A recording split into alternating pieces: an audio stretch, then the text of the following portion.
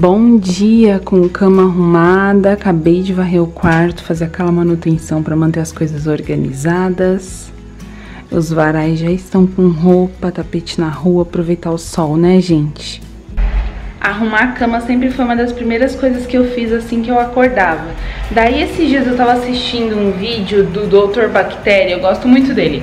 E daí ele tava falando sobre erros que a gente comete durante o dia a dia na rotina e a gente não percebe. E um deles é acordar e já arrumar a cama. Ele falou que a gente não deve arrumar a cama assim que a gente acorda, porque durante a noite, às vezes a gente nem percebe, mas a gente sua muito, né? E o suor da ácaro e tudo mais. E daí, se você acordar com a cama ali úmida do suor, sem a gente perceber, mas tá úmida do suor, e a gente já arruma a cama, ou seja, você vai jogar uma coberta em cima, uma colcha em cima, você vai abafar aquele suor. Ainda mais os ácaros e bactérias e tudo mais. Então, o ideal é você acordar, levantar e não arrumar a cama de início, deixar ali pegar um pouquinho de ar, de vento, de sol, se tiver para secar aquela roupa de cama ali, o lençol, o travesseiro, o, a fronha e daí sim depois você vem arrumando a cama, sabe? Então é isso que eu tenho feito. E outra coisa que eu penso, né? Ah, vou dar uma varridinha na casa só para fazer a manutenção. Olha a quantidade de sujeira que saiu só de varrer. Meu Deus, é porque esse piso não dá pra gente ver a sujeira, sabe? Mas tem muita poeirinha. Vou terminar de varrer aqui a sala e cozinha e já vim falar com vocês. Gente, sentei aqui que eu quero te mostrar algumas comprinhas que a gente fez ontem. Ontem eu e o Xande, a gente tava super mal do nosso estômago. Alguma coisa que a gente comeu no fim de semana que não deu certo. Eu não sei porque a gente comeu fora.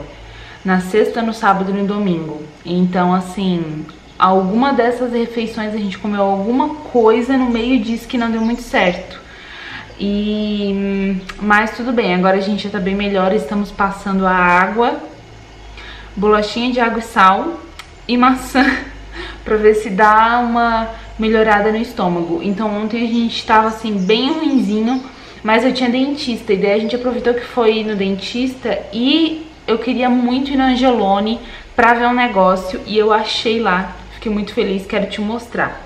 Então vou te mostrar algumas comprinhas que a gente fez ontem, porque a gente foi no Angelone, mas aproveitou pra ver outras coisas também, né? Comprei duas plantinhas, a primeira é essa daqui, ela tava, se eu não me engano, 11 reais. É Peperônia, eu acho o nome dela.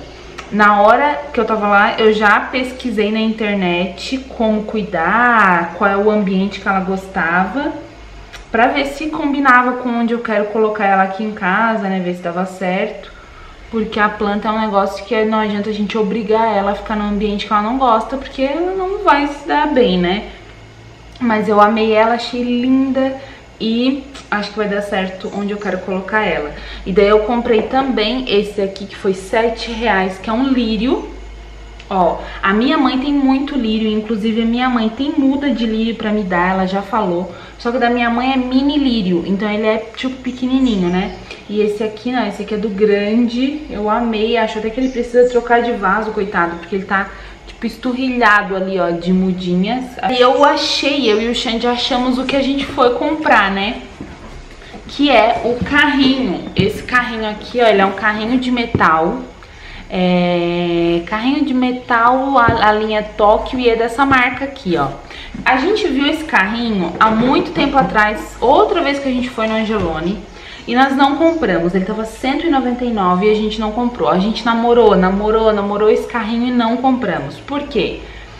A gente não tinha mudado pra cá ainda, então eu não sabia onde é que ia as coisas. Daí eu fiquei com medo de trazer e não ter nem onde colocar aqui em casa, sabe? Daí a gente não trouxe. Daí esses dias a gente tava querendo montar um negócio aqui na sala e daí, ah, a gente, ah, vamos fazer uma estante, vamos fazer uma estante, vamos fazer uma estante. E eu pensei, poxa, aquele carrinho de metal lá do Angelone ia ficar incrível aqui, né? Deu Xande, ah, ia ficar incrível. Daí eu comecei a dar uma olhada quanto que tava o preço. Não tava mais 199, tava 260, então aumentou 60 reais, mas ele tava na promoção naquela época. E daí eu dei uma olhada na internet, em outros lugares tá 399, 299, nas americanas tem o mesmo por 299.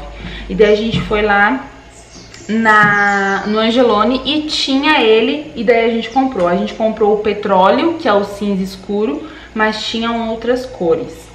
Bom, e daí do Angelone a gente já passou na loja do 10 para dar uma olhada em uns negocinhos. Eu queria comprar um vaso e achei o vaso. E daí já compramos outras coisas. Então eu comprei o vaso, ele é assim, ó. E ele é desses de pendurar, sabe? Então ele vem o vaso e vem aqui as alças, ó. E eu quero pendurar a minha... Eu, eu nunca lembro o nome daquela minha plantinha.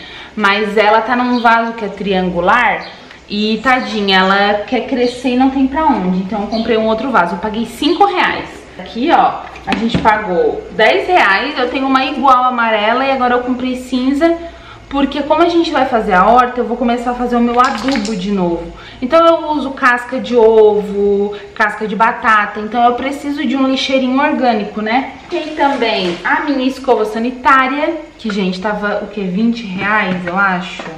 Ou 10 reais? 20 reais. Eu quase comprei, tipo assim, um pouquinho antes, eu quase comprei uma de R$ 49,90 da Grace, como sempre pensei, não, uh -uh, muito caro. Pra um negócio que você vai limpar cocô, gente.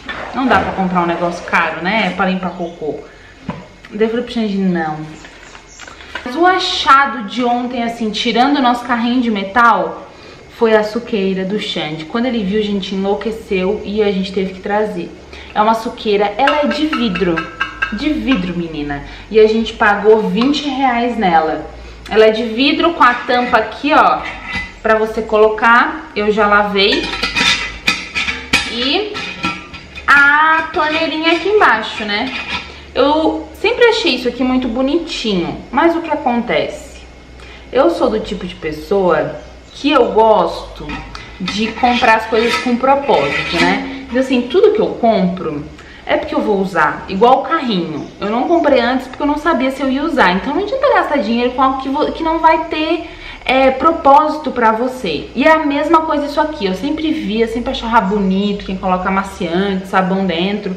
Mas eu sempre pensava, pô, nem tem lugar na minha casa pra isso. Nem tem onde eu colocar isso na minha lavanderia. Então eu nunca comprava. E daí o Xande me falou esses dias que queria comprar uma assim pra gente já colocar dentro da geladeira. Então ele queria que fosse de vidro, porque é bem mais... Plástico é complicado, né? É, o vidro é mais assim higiênico, digamos que é assim. E daí ele falou que queria comprar uma pra quê? Pra gente já, já deixar o suco diluído. A gente toma muito suco concentrado, aqueles de uva, né, principalmente. E a gente sempre dilui, né? Então aqui a gente vai colocar o suco de uva e já coloca água, né? Filtrado e já deixa na geladeira ele gelando, diluído. A gente comprou na van a assadeira que eu mostrei pra vocês no um dos últimos vídeos. Eu comprei mais uma de 2 litros, ponto 2. Tem oval também, mas eu comprei retangular. E, gente, tá muito barato, eu uso muito isso daqui. Eu gosto com tampa. Porque, por exemplo, você faz uma sobremesa, já coloca a própria tampa da assadeira e leva na geladeira. Não precisa ficar colocando plástico, papel filme, nem nada. Economize dinheiro no papel filme, no plástico e também no meio ambiente, né? Porque menos plástico pro meio ambiente. Tem é, roupa de cama, lençol e fronhas. A assadeira foi R$24,90. As fronhas eu paguei R$14,90. E o lençol com elástico eu paguei R$70,00 tem mais barato, tá? Mas eu comprei o Queen e o Xande só usa roupa 100% algodão. Tudo que é poliéster pra ele é pinica, sabe? Na hora de dormir, pinica. Então tem que ser 100% algodão. Daí por isso que é um pouco mais caro, né? E comprei também dois porta-travesseiro assim, ó, só que daqueles mais pra enfeitezinho, que é matelado, eu acho, né? Matelado branco, tá? Porque eu tenho roupa de cama muito colorida e daí eu comprei branco pra dar uma diminuída na cor. Comprei também um, uma toalhinha assim de cozinha pra fazer de batimão e eu amei ser cinza assim. Queria até usar no meu banheiro, ia combinar tanto no meu banheiro. Mas eu usei pra, o, pra, comprei pra usar de batimão na cozinha e foi R$9,90. Esses aqui matelado foi R$14,90, tá? E daí compramos um enfeite para árvore de Natal. Grace, você tem árvore de Natal? Não. Mas a gente já comprou enfeite. Foi o Xande que comprou, na verdade, porque é o quê? É saxofone. Natal, gente. 3,00 reais e vem dois saxofones para árvore de Natal. E peraí que assim, eu quero a árvore de Natal de um jeito, eu não queria colocar nenhum penduricalho. Eu até acho bonito, mas eu não queria, né? O meu estilo, eu queria, eu penso outro tipo de árvore. O menino vai e me compra saxofone de plástico pra botar, gente, na árvore. Mas eu vou botar, né? Porque ele também mora aqui, a árvore também é dele, né? A gente foi lá só pra comprar, a gente tava namorando isso aqui, ó tapete. Daí ontem a gente foi e comprou, que é o tapete pro banheiro. Ele tem 1,60m, então dá no nosso armário do banheiro. E ele é assim, ó. Vai combinar muito com o nosso banheiro, que é meio cinza e tal. E a gente tava querendo muito. Você já vai ter visto, porque vai estar tá no vídeo do banheiro, né, que eu tô gravando já. E falta só o tapete lá pro banheiro, então vocês vão ver no vídeo do banheiro, né? Mas tá aqui, ele foi R$59,00, tá? Nava e ele é 100% algodão. Ele é tipo, parece feito à mão, sabe? Trançado à mão, é muito bonito. E agora sim, por último, a gente comprou um cobertor desses assim, ó. Ai, não sei. Ele é um cobertor feito com, é, como é que se fala? Não é reutilizado, é gostosinho. E ele é feito com restos de tecido, assim. Não é, é reutilizável, mas tem outro nome, né? Entenderam o que, que eu quero falar, né? E a gente comprou pro Paçoca, porque até já falei, né? O Paçoca ele não se dá muito bem com travesseiros, almofadas, casinha, caminha. Não dá, gente. Ele destrói tudo. Ele vai, tipo, cavando assim, destrói tudo. Então a gente tem várias mantinhas, assim, cobertorzinhos pra ele. E daí eu tô sempre lavando, né? Daí a gente comprou mais um pra ter.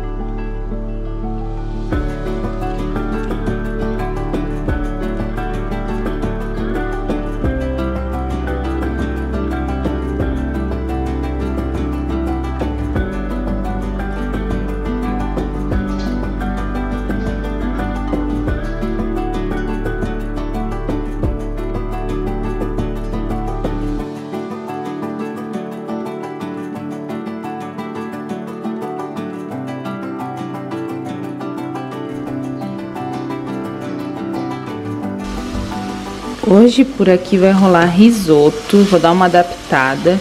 Vou fazer um risoto mais assim, basiquinho, simplesinho. Porque como a gente tava com dor no estômago, né, eu acho que é melhor não fazer nada muito forte pra gente comer. Devo fazer um risoto de alho poró. Aqui eu já coloquei manteiga, a cebola e o alho poró. E aqui eu fiz o caldo, só faltou cenoura. Gente, eu gosto tanto da cenoura no caldo, mas eu não tinha. Mas tudo bem. Daí ali tá o caldo e aqui eu vou deixar dar uma fritadinha, vou colocar o arroz arbóreo, que eu já fiz aqui a minha medida, ó. Quase uma xícara de arroz arbóreo. E daí eu já coloco aqui, depois eu já vou começando a colocar água e mexendo sem parar para soltar bastante amido, deixar esse risoto bem cremoso.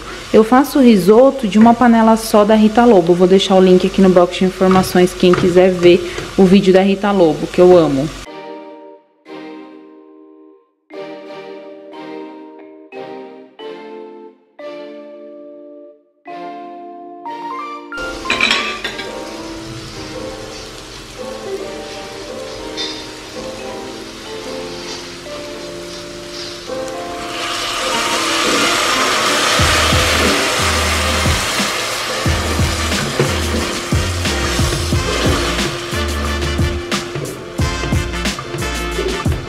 Meu risoto já tá super cremoso. E daí, por último, eu coloco suco de um limão. Ou então, se você quiser, dá pra colocar o vinho também. Mas o vinho branco tem que ser colocado antes pra que dê tempo de ele evaporar, né? Daí ele deixa de ser alcoólico e só dá o aroma mesmo. Daí o limão, como não tem nada alcoólico, eu coloco bem por último mesmo. E o grão já tá bem gostoso, acabei de provar. E o caldo, gente, ó, depois eu vou peneirando pra que não vá as coisinhas que a gente colocou só pra dar sabor no caldo mesmo, né? Só ir o líquido. Montei uma mesinha aqui bem simples com essa toalha que eu sou apaixonada, o suplazinho. Eu não fiz suco, a gente vai beber só água mesmo. E é isso, só esperar o Xande chegar.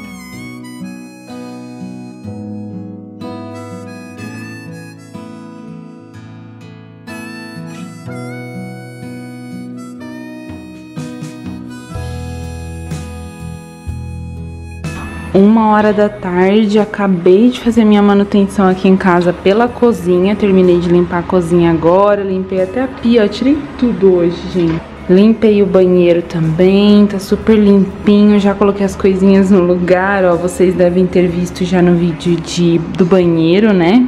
Amei. E já tá tudo limpinho. Agora eu vou pro computador fazer algumas coisas e vou encerrar o vlog por aqui. A gente se vê no próximo vídeo. Acho que hoje e o Xande a gente vai começar a limpar lá fora de casa, tirar as coisas porque em breve a gente já vai começar o muro, a mureta, né, pra começar o muro, então tem muita coisa que a gente precisa limpar daqui do terreno, então a gente vai começar hoje no final da tarde, quando baixar o sol, o gente tá trabalhando agora, né, mas quando ele voltar, quando baixar o sol, a gente vai começar a pegar lá, então eu preciso fazer minhas coisas pra estar tá livre quando ele chegar e ajudar ele lá fora, né, então eu vou finalizar o vídeo por espero que vocês tenham gostado desse vlog, se você não é inscrito no canal, se inscreva, e se você gostou, clique no gostei, porque sempre ajuda a gente aqui na internet. Um beijo enorme, que Deus te abençoe, que Deus abençoe a sua semana. Tchau!